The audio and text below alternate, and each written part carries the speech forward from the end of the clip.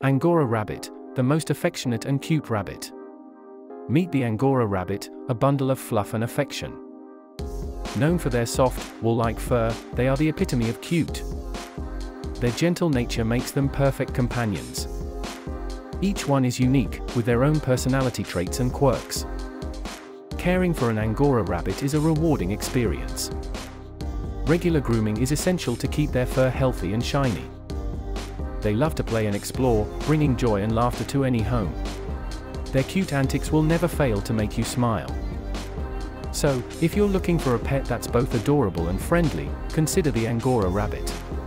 It's love at first hop,